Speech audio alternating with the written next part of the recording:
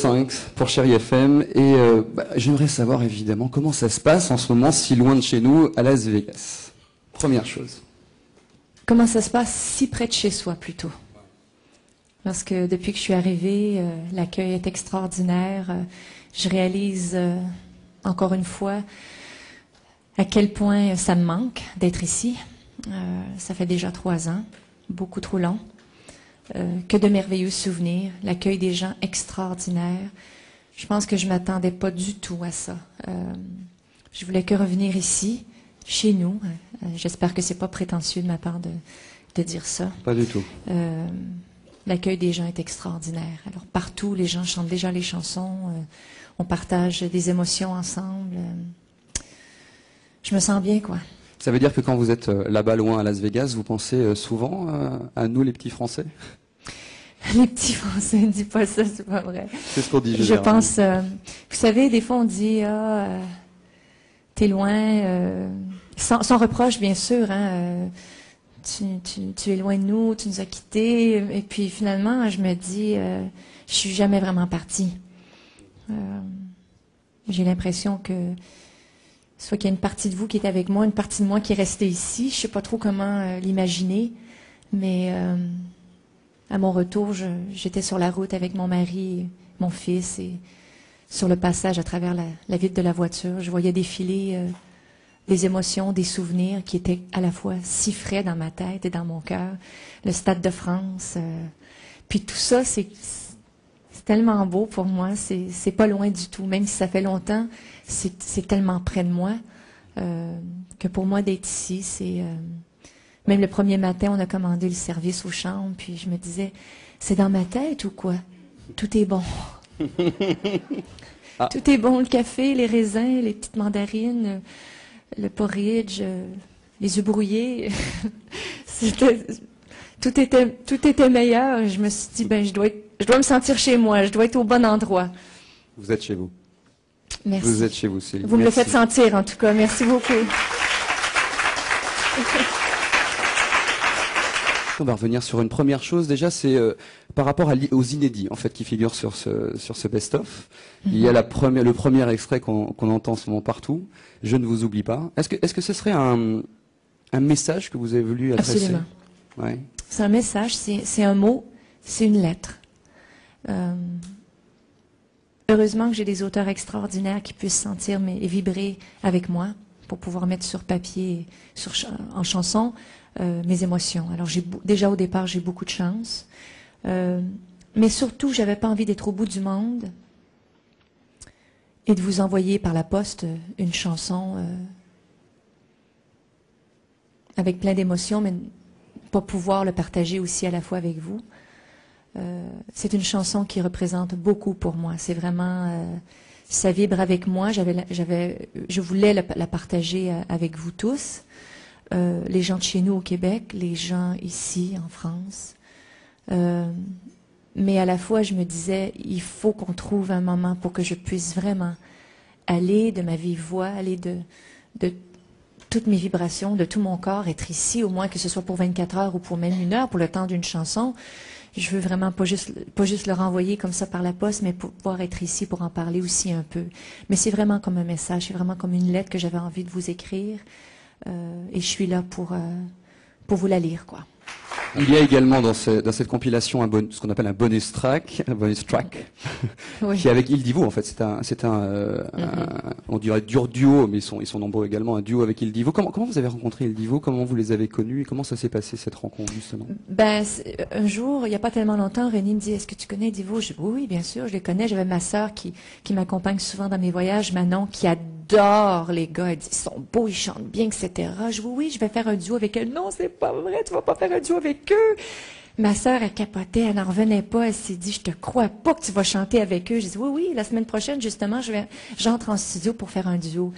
Ma sœur était toute énervée. Moi, j'étais ravie, bien sûr. Mais euh, je vivais quand même ça à distance. Alors René a communiqué avec le manager de Divo.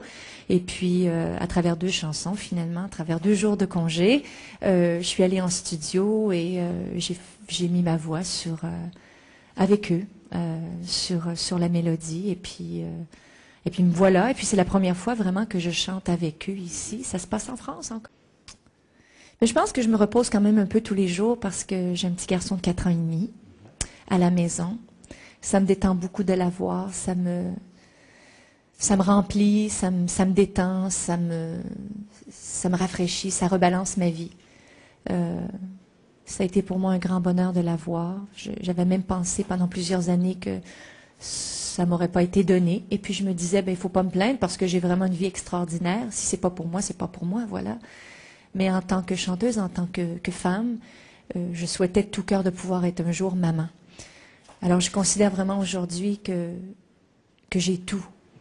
Alors si j'ai tout, j'ai pas envie de laisser tomber ça. Alors euh, c'est très c'est très près de moi, ces émotions. Pour moi, euh, c'est le plus beau cadeau de pouvoir être maman. Oui, j'adore chanter, bien sûr. Je partage à travers la musique des émotions que j'ai envie de partager, que vous me donnez la chance euh, de partager aussi. D'être maman, c'est un cadeau extraordinaire. Alors, quand je suis à la maison tous les jours avant les concerts, je les passe avec mon mari, surtout avec mon fils. Et de temps en temps, entre les vacances, des fois on a une semaine ou deux de vacances, je prends une journée, je prends quelques heures pour aller faire quelques chansons françaises ou quelques chansons anglaises. Alors je prends quelques heures pour aller chanter, pour pouvoir continuer aussi, parce qu'entre le spectacle sur scène, entre les heures à passer à faire euh, du bricolage et euh, de la peinture et euh, plein de choses, même on, on, on, popote aussi, comme on dit chez nous au Québec. La cuisine, quoi, c'est ça. On fait de la cuisine, alors on fait de la popote. on le dit aussi. On fait des gâteaux, on fait bon plein de choses ensemble, on découvre la vie, quoi. Et puis à travers ça, j'essaie de prendre un moment pour continuer aussi à vous. Comment, comment ça se passe avec, avec René Char, justement? Est-ce que vous l'emmenez un petit peu partout, vous lui faites découvrir ce que fait maman Est-ce qu'il en est conscient d'ailleurs, justement, mm-hmm. de ce qui est, de ce qui est maman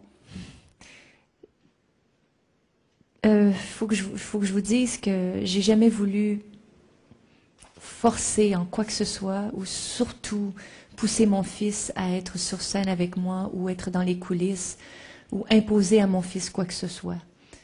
Euh, sans le pousser et sans le cacher, bien sûr, parce que je suis sa mère, parce que son père, c'est son père, et que nous avons la chance d'avoir cette vie. On assume ce que nous sommes et on assume absolument les plaisirs que la vie nous apporte.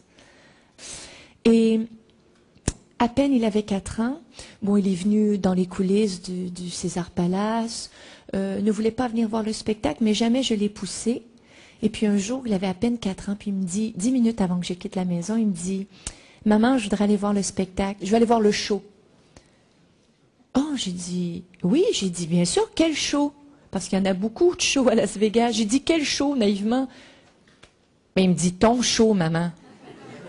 Oh, j'ai dit, tu me fais plaisir, mon lapin. J'ai dit, j'aimerais. J'ai dit, quand est-ce que tu veux venir voir le show? Il dit, ce soir.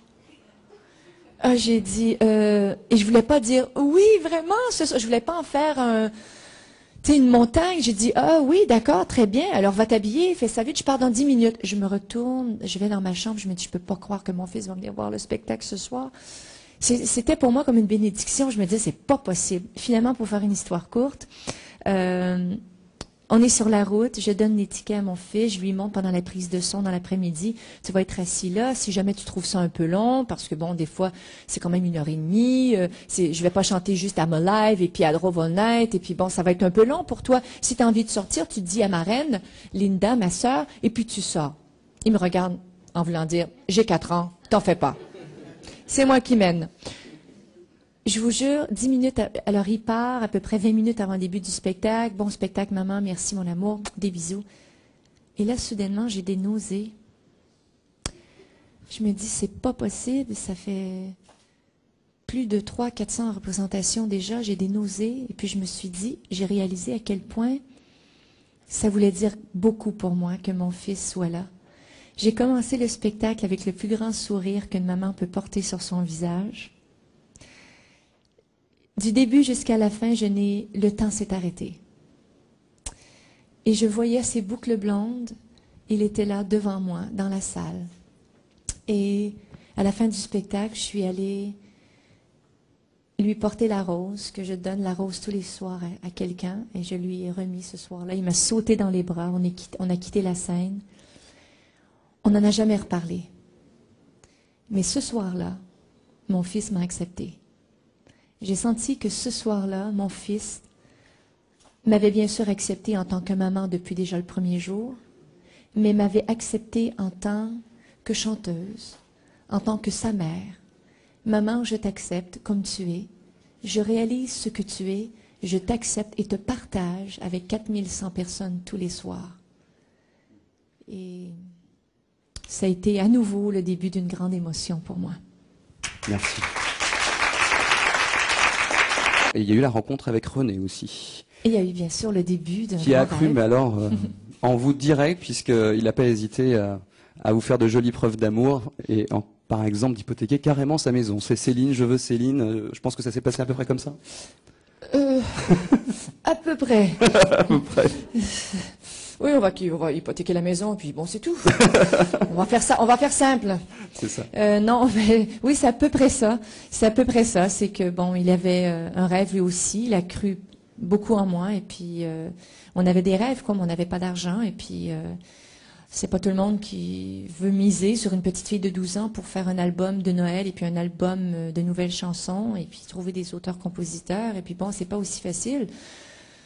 Et puis ça a été le début d'un grand rêve. Et puis évidemment, on n'était pas, on était amoureux de de ce grand rêve. On n'était pas amoureux l'un de l'autre, mais du même rêve, quoi. Alors automatiquement, ça vient, ça, ça finit par la même chose. En 88, vous participez à l'Eurovision, mais vous ne défendez pas la France, mais la Suisse. Petit, toute petite infidélité en fait. Oh, Après commence coup. pas tourner le couteau dans la plaie. Pardon. J'arrête. non, mais je pense que c'est. Euh, bah, déjà, c'était le, festival de, la chanson. Euh, et puis la Suisse m'a donné un coup de fil en me disant euh, c'est sûr que j'avais eu à choisir entre la France et puis la Suisse. et bon, heureusement que j'ai pas eu à faire ça parce que ça aurait été pénible pour moi. Mais euh, je comprenais pas trop au début parce qu'on a eu un appel à Montréal en disant c'est le festival de la chanson, le concours de la chanson en Europe, c'est le plus grand concours. Céline, est-ce que tu veux nous représenter? Euh, Je voyais pas le problème pour représenter, mais je voyais pas le rapport non plus entre représenter un pays euh, à quelque part que, qui, qu'il faut bien le dire, n'était pas le mien, quelque part, euh, représenter la Suisse, je comprends. Mais il me dit, non, non, non, vous oui, vous représentez la chanson. La chanson est écrite par des Suisses et on, a, on, veut emprunter votre voix. Alors, euh, la chanson était très bien, je pense. Ne partez pas sans euh, moi. Ne partez pas sans moi.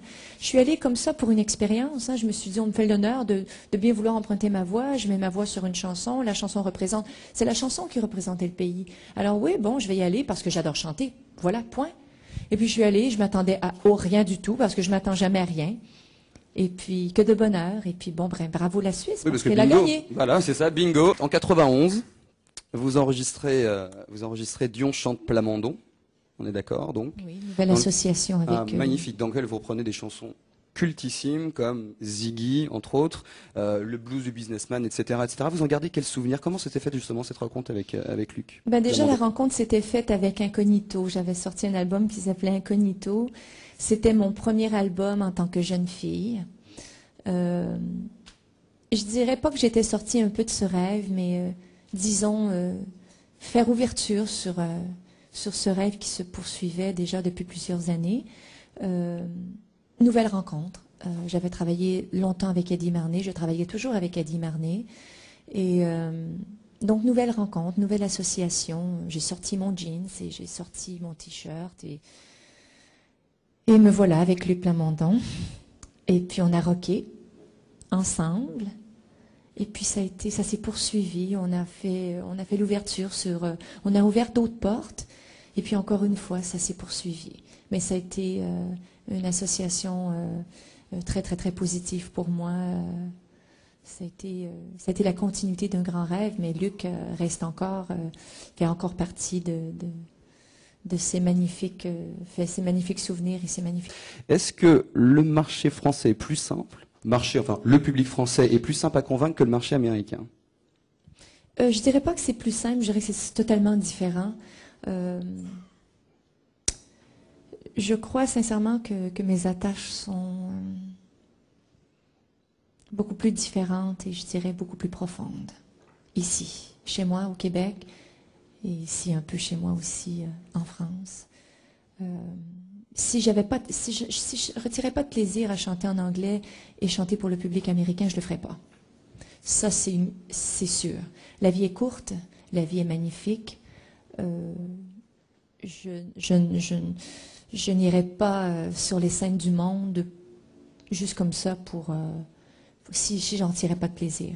Non, j'aime beaucoup chanter dans plusieurs langues. J'ai même chanté dans le passé en allemand, j'ai même chanté en japonais. J'aime beaucoup chanter dans plusieurs langues pour le plus de monde possible. Ça fait partie de moi-même. Mais c'est un choix que, j'aime beaucoup, de pouvoir chanter dans plusieurs langues, chanter en anglais, effectivement.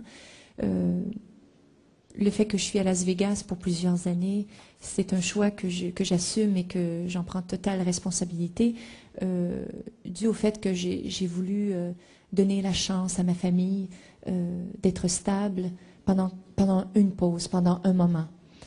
Élever un enfant, bien sûr, rien il n'y a rien de mal à voyager le monde, au contraire. Et je voulais une stabilité, je voulais que mon fils et moi-même et mon mari euh, on voulait dormir dans le même lit tous les soirs. Euh, l'occasion m'a été donnée de voir un grand, grand spectacle avec Franco Dragon et le Cirque du Soleil, de d'être sur scène tous les soirs avec un spectacle magnifique et de rentrer à la maison en tant que maman. C'était pour moi une stabilité d'élever mon enfant dans ses premières années. C'est un choix que j'ai voulu faire et je ne, je ne, regrette absolument pas mon choix. Mais euh, chanter en français pour moi, c'est mes racines, c'est mon sang c'est ce que j'aime le plus au monde et d'être ici. Vous savez, on peut voyager le monde, mais quand on est à la maison, on est à la maison. Il n'y a rien qui remplace ça. Alors, euh, je vous l'ai dit tout à l'heure, je suis vraiment. Vous êtes avec moi, même à l'autre bout du monde. Comme le dit la chanson. Bien sûr. Comment ça s'est passé avec Jean On se connaissait, c'est-à-dire on se connaissait. Lui, il me connaissait de son côté. Moi, je le connaissais, bien sûr, de mon côté. Je connaissais ses chansons beaucoup. Je l'admirais énormément. Je savais qu'il était une grande star ici, qu'il était très aimé. Et puis, euh, Jean-Jacques euh, a été intéressé de, d'essayer de me connaître un peu davantage avant même de dire oui. Euh, alors, il s'est fait parvenir tout sur moi. Je pense qu'il connaît, me connaît mieux que moi-même.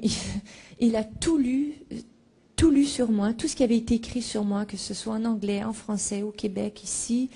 Il a écouté tout mon répertoire et il a trouvé une porte qui, qui avait été jamais franchie jusqu'à maintenant.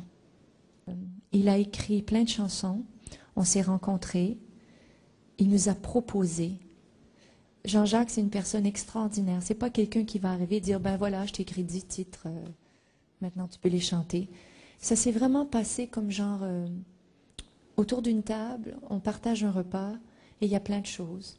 T'aimes pas les haricots, ben, il y a des pommes de terre, il y a un peu de pain, il y a beaucoup d'amour, de l'eau, un peu de vin, des fruits. Euh. mais il n'y a pas, on il ne m'a pas imposé quelque chose. Il avait une ouverture extraordinaire d'esprit, surtout de cœur. Et euh, quand on est allé en studio, pour nous, il, s'est mis à la guitare, il a parti un peu les bandes, et puis il a joué un peu de keyboard. Et il nous a proposé des titres. Le premier titre qu'il nous a proposé, c'était Pour que tu m'aimes encore. Nous avons été convaincus. Ça a été... Euh, le début d'une grande, grande, grande histoire d'amour. Alors j'ai une dernière question qu'une dame m'a posée tout à l'heure. Je peux me faire votre interprète? Elle m'a demandé si vous alliez refaire quelque chose avec Jean-Jacques Goldman. Voilà, c'est ce que c'est ce que cette dame. Je le souhaite, euh, je le souhaite énormément, bien sûr. Il euh, n'y a, rien de, de, planifié encore que oui telle date, tel jour, telle chanson. Je ne peux pas me prononcer parce que il euh, n'y a rien de, concret en ce moment de, de sûr. Mais l'envie, c'est sûr que je peux vous dire que j'adorerais à nouveau travailler encore avec Jean-Jacques et même ses associés, ses partenaires, les, les mecs avec qui il travaille qui sont extraordinaires. J'aimerais beaucoup.